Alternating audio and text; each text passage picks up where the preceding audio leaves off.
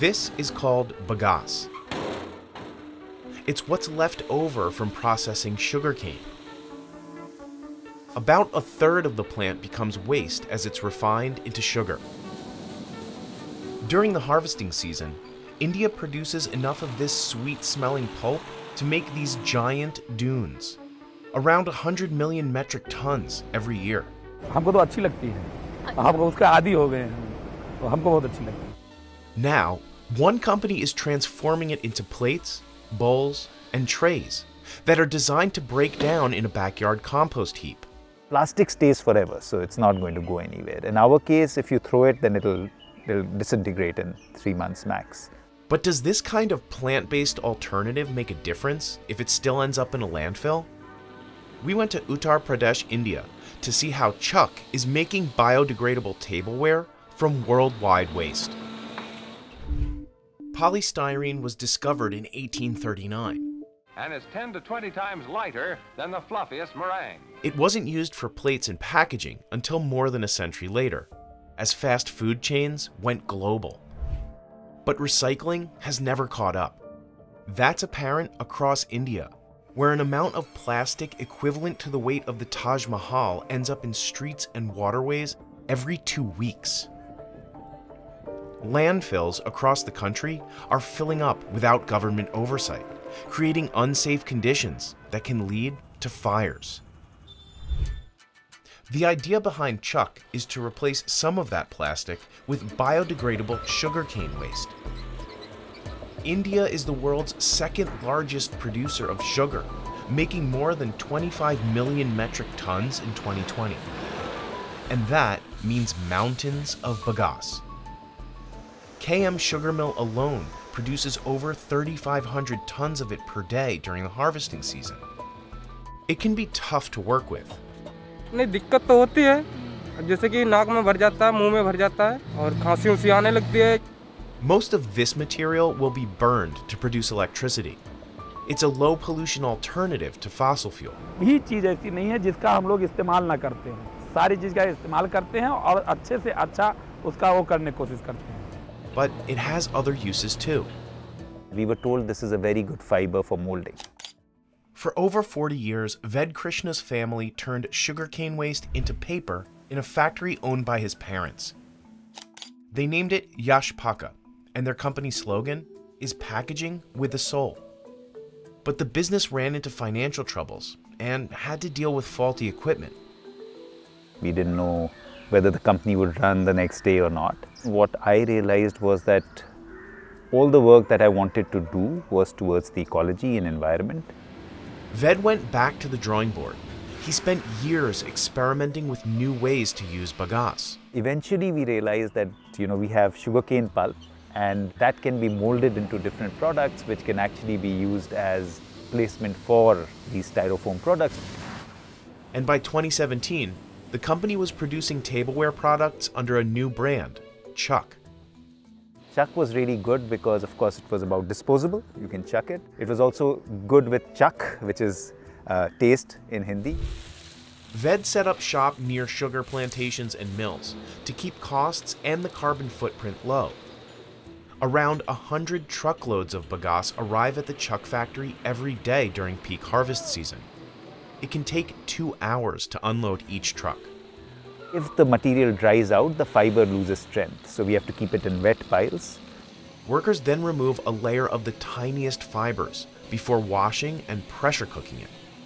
Same concept as you cook dal in your home, the same way you cook bagasse. You use a certain alkaline product to be able to remove the stickies. You know, if you think of a sugary product, it's a little sticky. The alkaline solution helps make it moldable. Workers wash the sludge again to remove any residual chemicals. Then they distribute it into different machines and molds that press it into shape, squeezing out all the water.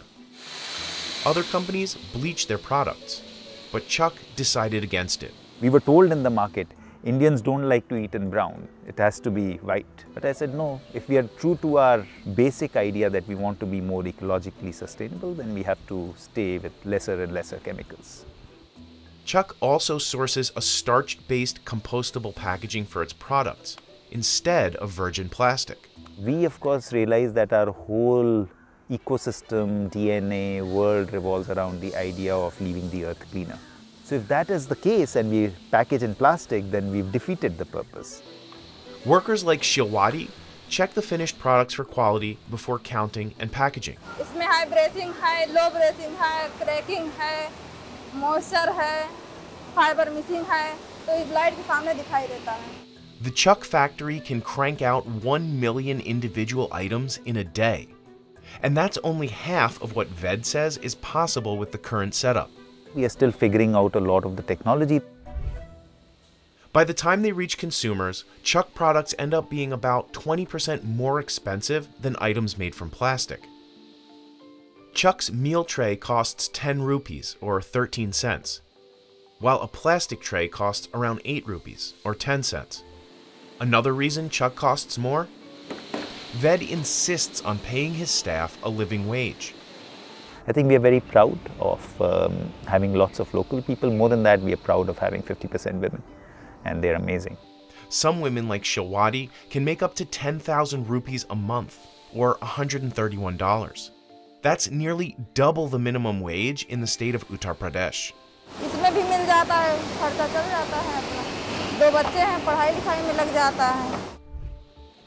So far, Chuk hasn't turned a profit, but the business continues to grow. Over 3,000 restaurants across India have used the company's tableware.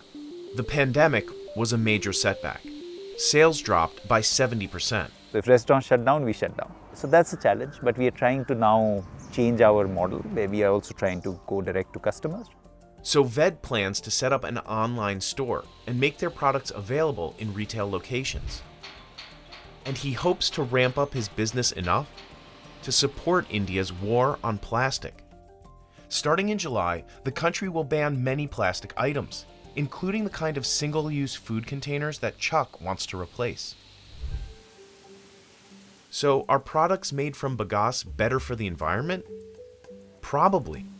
Chuk recommends leaving its product for 90 to 180 days in a backyard composting bin that maintains moisture and good oxygen flow.